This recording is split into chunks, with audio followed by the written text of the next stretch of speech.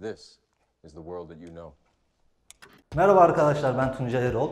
Boğaziçi Enstitüsü adına bir kurs oluşturmaya karar verdik. Kursumuz temel olarak Python üzerine olacak.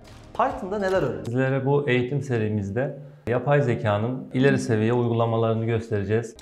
Boğaziçi Enstitüsü olarak sizler için yeni bir yazılım eğitimi daha hazırladık. Bu eğitim veri tabanı yönetim sistemleri eğitimi olacak. Sizlerin de bildiği gibi bilgi artışıyla birlikte